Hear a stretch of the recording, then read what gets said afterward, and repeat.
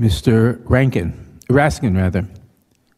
Thank you, Mr. Chairman. Uh, welcome, Director Wray. Thank you for your service, and thanks also for reminding us that if we see something, we should say something. And uh, uh, I see Donald Trump telling his followers that he is about to be reinstated as president of the United States in August. So I wanted to make sure I said something so uh, the FBI can be on top of that situation, given that he's incited violence against the government before. But I wonder if you can um, help us understand what the FBI did on June 1st, 2020 versus what it did on January 6, 2021.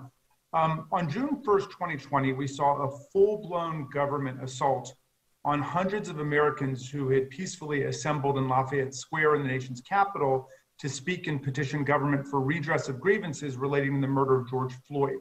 And then America watched as federal law enforcement in riot gear and on horseback cleared peaceful protesters and reporters uh, firing pepper balls and flash grenades into the crowd.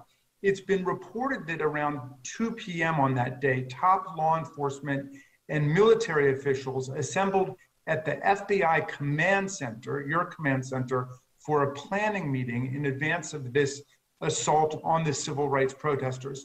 And so I want to ask you who was the senior most FBI official present handling the Bureau's actions on that day? Was that you? If not you, who was it? And what was the FBI's general role and function in the events of June 1st? Well, um, there were a lot of people going in and out of the command post over the course of that day, so I'm not sure I can speak exactly to who was doing what at 2 o'clock uh, that afternoon uh, about well, a year ago. But, but, at, well, but it's important to be clear about what we're talking about here. You asked about the FBI's role.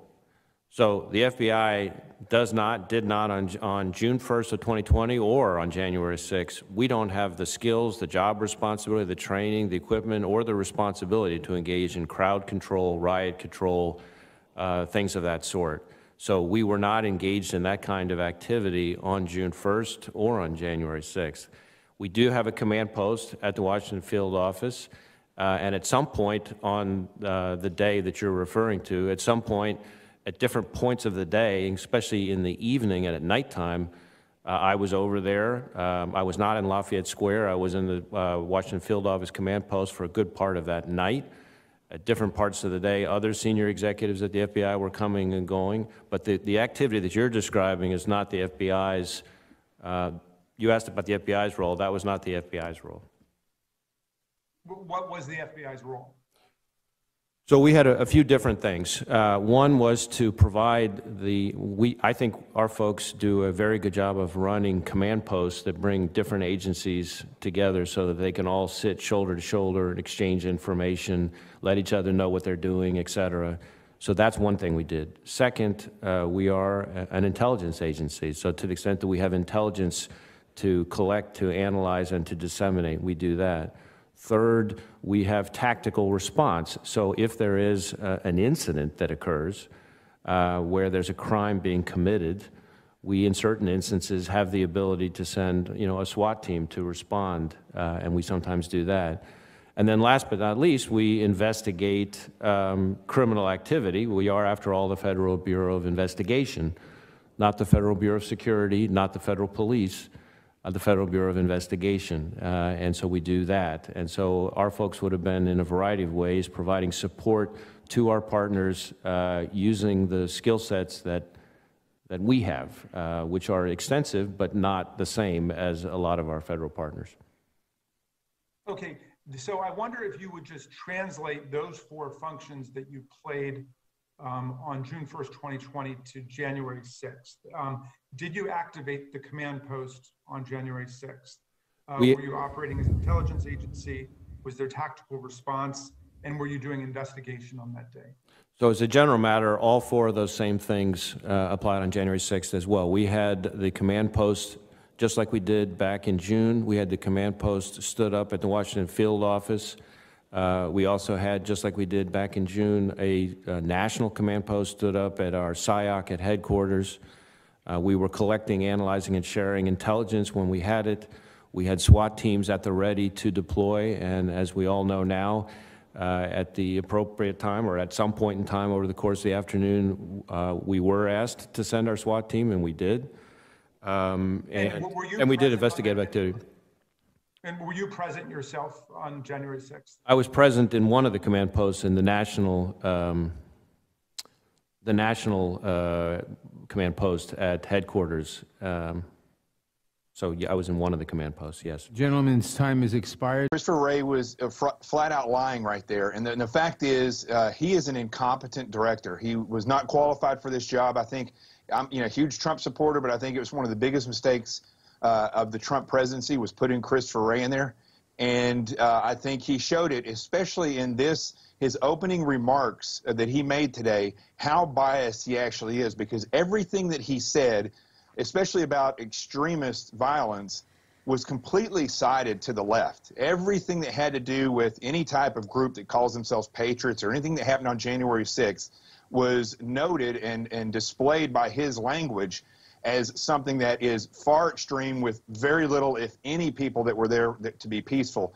And he made it sound as though the left is mostly peaceful with just a few things.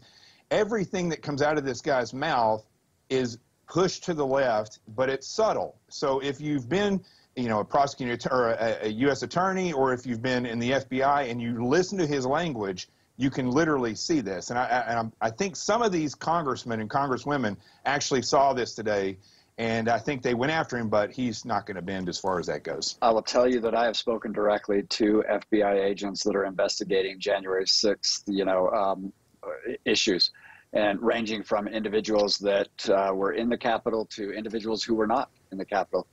One one thing that stands out, the the the most recent conversation I had with an FBI FBI agent here in Salt Lake indicated he said he's never seen anything like this. They are given a mandate.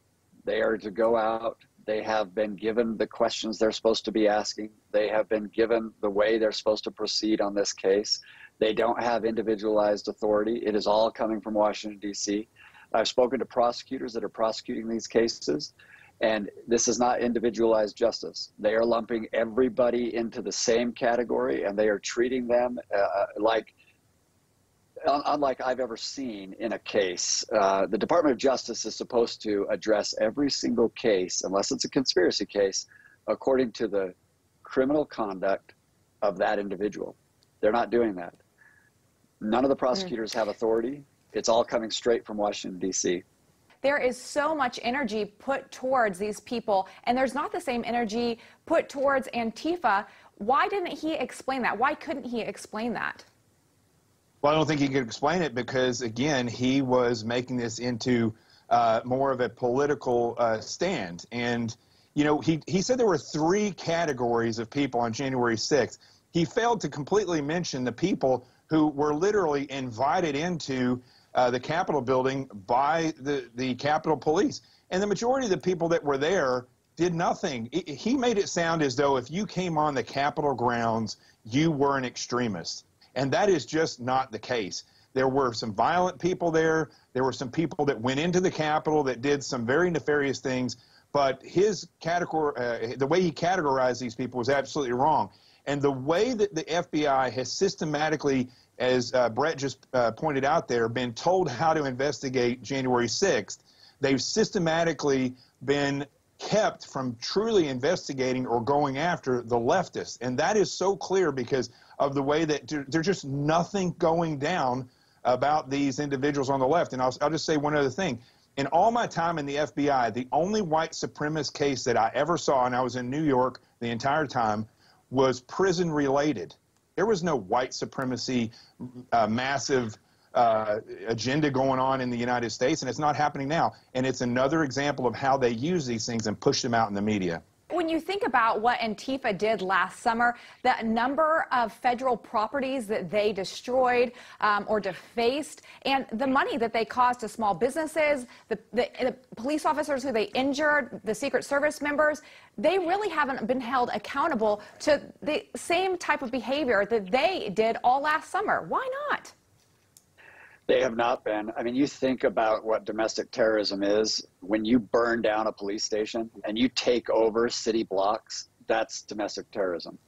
And they have not been held accountable. Uh, I'm ashamed to, to say that, you know, my my former office, you know, the Department of Justice. I, I wish I could see courage. I wish I, I could see U.S. attorneys standing up. You know, it's interesting. I, I represent an individual who um, went into the Capitol, um, was told she could go in, and was actually pointed by a security guard to the direction she should go.